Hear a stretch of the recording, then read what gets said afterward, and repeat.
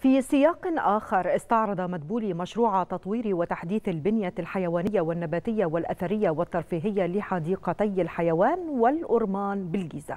وفي مستهل الاجتماع أكد رئيس الوزراء تطلع الحكومة إلى إعادة إحياء الحدائق وتعزيز دورها كمناطق مفتوحة ومساحات خضراء داخل المدن تعد متنفسا للمواطنين ذلك وفقا لتوجيهات الرئيس عبد الفتاح السيسي بالعمل على تطوير الأصول المملوكة للدولة من حدائق ومتنزهات في نطاق القاهرة الكبرى. ووجه مدبولي بأهمية أن يتم الحرص على الحفاظ على المسطحات الخضراء خلال تنفيذ أعمال التطوير مكلفا بصياغة التصور النهائي وتفاصيل التمويل والعائد لهذا المشروع والعرض على مجلس الوزراء مع إعداد مذكرة تفاهم بشأن تنفيذ هذا المشروع بين الجهات المعنية.